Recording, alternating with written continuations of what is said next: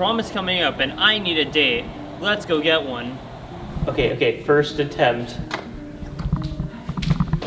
He's the one that really shot Hey. me, 'cause I thought he was gonna- It's all about you. Will you go to prom with me? No. Oh, okay. Definitely on a little bit more.